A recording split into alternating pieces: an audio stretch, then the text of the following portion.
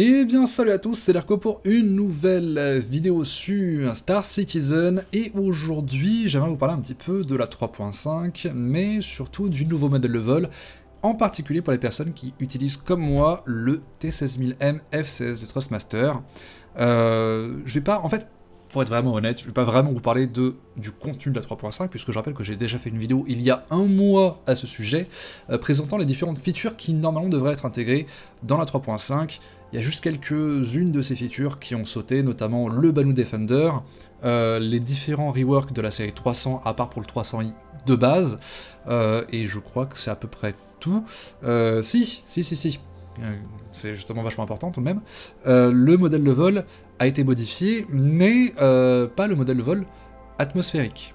Voilà, donc euh, par rapport à ça, on n'a pas encore la portance des vaisseaux réellement en atmosphère qui a été intégrée, mais le modèle de vol spatial a été grandement modifié, et justement cette vidéo est là pour que je puisse, dans un premier temps, vous présenter les modifications liées à ce, nouveau modèle de vol, et en plus que je puisse présenter un petit peu mon profil euh, pour le, le, le que j'ai, et pour les personnes qui voudront récupérer, bien évidemment, euh, ils pourront me le demander, c'est avec plaisir que je vous l'enverrai.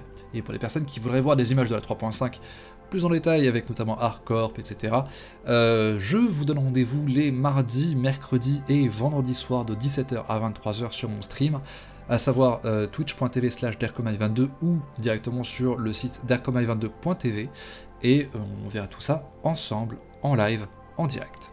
Voilà.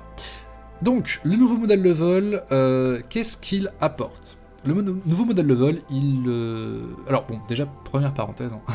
je vais pas vous refaire toute la présentation du HUD, puisque je l'ai déjà fait dans une vidéo qui date d'il y a quelques semaines, si j'ai pas de bêtises. Là encore, je vous mets le lien en fiche et en description de toute façon. Euh, donc je vais pas m'attarder sur tout ce qui est là, les, différents hologrammes qui y a autour, ni sur les différents écrans. Ça, vous êtes censé savoir. Pareil pour ce qui est de, du, du, radar, vous êtes censé savoir, si vous avez regardé ma vidéo que je vous incite, dont j'ai parlé juste, juste tout à l'heure, vous êtes censé savoir à quoi tout ça correspond. Mais vous voyez que le HUD central a été modifié, qu'il est légèrement différent. Notamment, notamment, vous le voyez ici, il y a une petite réglette qui est en train d'évoluer, que vous pouvez normalement faire, euh, faire euh, évoluer avec la, molette de la souris, pour ceux qui sont au clavier souris. Hein, je rappelle que le clavier souris tout, est tout à fait viable. Et cette, euh, cette petite réglette, hein, que je vais vous montrer ici, voilà, cette petite réglette-ci, c'est le limitateur de vitesse, puisque, ça c'est une euh, donnée importante par rapport au nouveau modèle de vol, l'afterburner a disparu. Il est remplacé par le boost, tout simplement. Le boost qui vous permettra, donc, comme, comme pour la version précédente, d'atteindre plus rapidement votre vitesse max, donc d'augmenter votre accélération, mais pas d'aller plus vite. Non. Là, par exemple, je suis euh, environ, si j'ai pas de bêtises, 180 mètres par seconde, 200 mètres par seconde, voilà.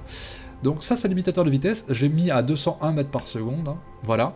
Euh, ce qui veut dire que, bah, même si j'appuie sur la touche sur laquelle normalement j'ai mis l'afterburner, eh ben je vais pas dépasser les 201 mètres par seconde. C'est simple. Par contre, si jamais j'augmente ce limitateur-ci, vous voyez plusieurs choses. La première, c'est que oui, je dépasse les 200 mètres par seconde, je suis capé à 412 mètres par seconde, mais surtout, vous voyez que la barre de vitesse, la jauge de vitesse, est bicolore. Hein, il y a la zone verte et la zone rouge. On va éviter de sortir de, de la simulation, ce sera un petit peu dommage. La zone verte, c'est la zone où tout se passe bien. La zone rouge, c'est la zone où les réacteurs vont commencer gentiment à chauffer. Et que si vous abusez un petit peu trop sur cette jauge de chauffe, eh bien, euh, vos réacteurs vont tout simplement s'éteindre par sécurité. Alors autant dans l'espace ça va, mais autant si vous êtes euh, en atmosphérique, ça risque de poser un peu problème, puisque je rappelle que s'il y a atmosphère, c'est-à-dire qu'il y a gravité, et que les vaisseaux, même si le nouveau modèle de vol n'a pas été complètement... Euh, modifié en atmosphérique, euh, la gravité elle est bien présente. Et euh, ça c'est un détail qui est important, c'est vous le voyez pour pouvoir faire demi-tour assez efficacement, pour pouvoir arrêter mon vaisseau en tout cas assez efficacement, les propulseurs de manœuvre ainsi que les rétropropulseurs ont été euh, diminués en termes de puissance, ils ont été plus ou moins nerfés. Hein, résultat, pour pouvoir vous arrêter vraiment de façon nette, le mieux ça reste de tourner le dos et de claquer l'afterburner le boost plutôt, et vous voyez, je me suis arrêté quasiment instantanément. Là où, toujours avec la même vitesse max, hein, pour m'arrêter avec le nez en avant, vous allez voir, ça prend du temps. Beaucoup de temps. Donc pour un, pour d'urgence, il y a une autre solution qui va consommer énormément de carburant et faire surchauffer vos réacteurs, c'est le Space Break.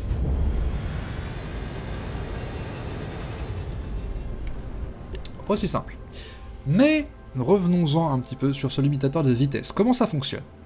En fait, le limitateur de vitesse, ça va être grosso modo, là par exemple le limitateur de vitesse est désactivé entre guillemets, c'est-à-dire que là je, suis, je peux aller à la vitesse max, à savoir 1235 mètres par seconde pour Gladius, on va claquer un petit peu de, boost. Vous voyez, les stems qui surchauffent. Voilà, bon je vais sortir la simulation, c'est pas grave. Et euh, en fait, la, là en fait, la, comment dire, l'amplitude de ma manette des gaz était sur toute la vitesse du vaisseau. Et donc si je réduis ce limitateur de vitesse, genre que je le mets à 180 mètres par seconde environ, eh bien l'amplitude de, ma manette de gaz va être jusqu'à 180 mètres par seconde. Ce qui veut dire que là par exemple, je suis à 0, bon, le vaisseau avance pas. Je suis environ la moitié, voilà, je suis environ à la moitié en vitesse. 86 pour 180 mètres par seconde, bon, il y a un petit peu de, de jeu, mais voilà. Là, je suis à la moitié à peu près. Et si je mets la manette des gaz à fond, 183 mètres par seconde, je vais pas plus vite. Voilà, simple. C'est comme ça que fonctionne le, euh, ce limitateur de vitesse. Après, euh, donc, c'est vraiment la plus grosse modification. Hein. Il y a quelques petites modifications mineures, telles que par exemple, maintenant le quantum fuel qui est plus unitaire, mais qui vous montre votre réserve en pourcentage, l'indicateur d'accélération que vous prenez dans la, tête, avec donc les G, euh, et le carburant qui, avec le nouveau modèle de vol, je préviens, va consommer, enfin va, descendre extrêmement vite puisque les vaisseaux consomment à balle. Voilà. Notez que là, vous voyez, j'ai la manette des gaz qui est à fond, mais vu que j'ai le limitateur de vitesse qui est au minimum, ben j'avance euh, pratiquement pas. Voilà. Et à l'inverse, hein, si jamais je veux avoir une précision, je peux aussi euh, juste un tout petit peu avancer la manette des gaz. Voilà. Donc, en somme, c'est comme ça que fonctionne le nouveau modèle de vol. En somme. Très grossièrement. Voilà. Ce qu'il faut retenir, c'est attention à la surchauffe. Attention à l'inertie du vaisseau. Attention au limitateur. Petit point également, hein. là vous voyez j'ai la manette de gaz qui est à 0, j'ai l'imitateur qui est environ à je crois 180, je l'avais réglé. Si j'appuie sur la touche C que je n'ai pas programmé sur le, le HOTAS, la touche C c'est la touche vitesse de croisière. Ça va automatiquement mettre votre vaisseau à la vitesse max en respectant évidemment le limitateur de vitesse. Pour le retirer, vous réappuyez sur C, voilà. C'est très pratique ça notamment lorsque vous êtes dans le PUI et que vous sortez euh, votre glace ou vous appuyez sur le bouton échappe. Parce que le vaisseau a la fâcheuse tendance à s'arrêter lorsque vous faites cela. Donc vous activez le cruise control, vous sortez la glace et votre vaisseau continuera à aller à la même vitesse. Simple. Voilà, donc ça c'est petites astuces. Pas grand chose à dire en, plus par rapport à ce modèle de vol-ci. Et donc on va passer à mon profil pour le OTAS. Donc je sais qu'il y a pas mal de personnes parmi vous qui utilisent le même OTAS que moi. Euh, donc je rappelle, hein, c'est le T16000M FCS. Voilà, c'est pas un placement de produit, hein, il y en a beaucoup qui utilisent aussi le X56, le X52, c'est de très bonne cam aussi. Le Warthog aussi, si vous avez un palonnier, c'est très bien. Euh, moi, vous voyez, hein, j'ai les jambes croisées, donc j'ai pas de palonnier. le palonnier, il est ici, sur la manette des gaz. Donc, euh, pour ça que j'ai pas de palonnier, c'est parce que c'est pas utile. Pour faire très très simple, pour ceux qui utilisaient déjà mon profil à l'époque de la 3.4, ou avant. Euh, on va dire que le profil est très très très semblable. Euh, c'est-à-dire que, bon, ici vous contrôlez l'orientation du vaisseau, ici vous avez le tir, là aussi vous avez le tir. Euh, les missiles, je me rappelle jamais quelle gâchette c'est, si c'est celle-là ou si c'est celle-là, j'en sais rien. Je n'utilise pas cette missile. C'est un réflexe. Je crois que c'est celui-là. Pratiquement sûr c'est celui-là. Je suis pas sûr. Euh, enfin, pas convaincu, mais bon, bref, passons. Euh, sur le chapeau chinois ici que nous avons, euh, ça permet de loquer les ennemis et les alliés. ici, comme je l'ai montré, alors, faut que je le montre quand même quand il faut parce que avec la, caméra, j'ai pas un angle infini non plus. là, en fait, si je mets ce petit chapeau chinois ici vers le haut, ça fait le space break. Et Si je mets ici ce deuxième chapeau chinois vers le haut, ça fait la marche arrière. C'est pas un strafe vers l'arrière, c'est la marche arrière. C'est pas pareil. Vous comprendrez si vous faites le test vous-même. Et ah oui, bah ce bouton-là, hein, comme toujours, ça reste euh, le boost. Enfin, à la base c'était l'afterburner, mais vu que l'afterburner a disparu, c'est le boost maintenant. Vous pouvez avoir une meilleure accélération. Ensuite, dessus, si on regarde ici, le petit joystick que nous avons là, bah, c'est les strafes, hein. haut, bas, gauche, droite. Le vaisseau réagit bien, c'est cool. Ici, je vous ai mis un petit limitateur de vitesse en, numérique et pas en analogique, hein, comme euh, ici, par exemple. Là, nous avons le changement des contre-mesures, et là, nous avons le lancement des contre-mesures avec ici, donc, le roulis sur ce palonnier-ci, tout simplement. Et euh, là, nous avons, sur, à la base du joystick, nous avons, donc, comme d'habitude, là, euh, les trains d'atterrissage, avec le, si vous maintenez appuyé sur ce bouton-là, vous allez pouvoir atterrir automatiquement sur une plateforme prévu à cet effet. À noter, petit détail, que lorsque vous avez le train d'atterrissage qui est sorti, vous ne passez plus en mode précision. Genre là, vous voyez, je vais aller à 280 mètres par seconde avec les trains d'atterrissage sortis. Voilà. Donc, euh, les personnes qui avaient l'habitude d'arriver à balle à toute vitesse sur Port Elissard et de sortir les trains d'atterrissage pour ralentir, ça ne marche plus. Faites attention avec ça. Euh, alors ici nous avons euh, le Quantum, mais vu que là on a un Arena Commander, bah, le Quantum ne marche pas. Ici nous avons le système de sécurité avec, le G-Safe et le Comstab. Je vous renvoie à la vidéo précédente que j'avais faite, que je vous ai déjà mis en, fichier en description euh, sur la HUD pour savoir ce que font le G-Safe et le Comstab. ici nous avons l'ESP. Là encore, pareil, je vous renvoie à la vidéo dont je viens de parler pour savoir que fait, enfin, que fait l'ESP. Qu'il n'y a pas d'indicateur pour l'instant sur la HUD par rapport à l'ESP. Ici nous avons euh, non, ici nous avons donc la coupure de tous les systèmes, ici nous avons le rallumage de tous les systèmes. Ce qui veut dire que vous avez largement assez de matière pour pouvoir personnaliser vous-même votre profil.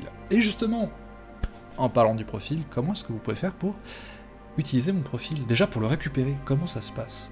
C'est très simple, il y a plusieurs solutions. La première, euh, qui est la plus commune, hein, euh, c'est euh, vous m'envoyez un mail à mon adresse de contact, contact.dercomai22.tv. Voilà, et vous me dites, Derco, est-ce que tu peux m'envoyer ton profil, s'il te plaît? Il n'y a pas de souci, je vous l'envoie directement. La deuxième, c'est d'aller sur, sur mon Discord personnel, euh, Discord l'état tardigrades. Je rappelle, pour pouvoir accéder au Discord, il suffit d'aller sur, le site, excusez-moi, darkomai22.tv et de cliquer en haut à droite sur les tardigrades.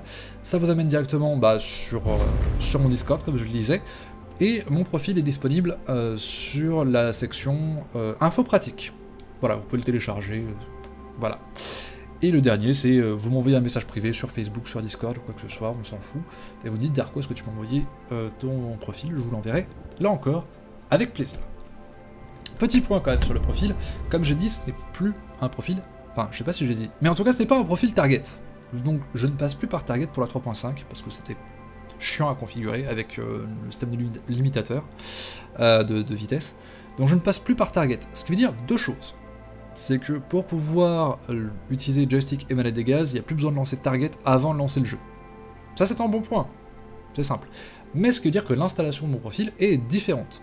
Et pour ça, c'est plus, c'est extrêmement simple. Mon profil sera sous la forme d'un fichier XML, donc d'ERCO 3, euh, 35 parce qu'on ne peut pas mettre le point sur le truc, euh, sur, le, sur, le, nom du, fichier. Euh, DERCO 35 export.xml ou un truc du genre, bref, j'ai pas le nom exact sous les yeux.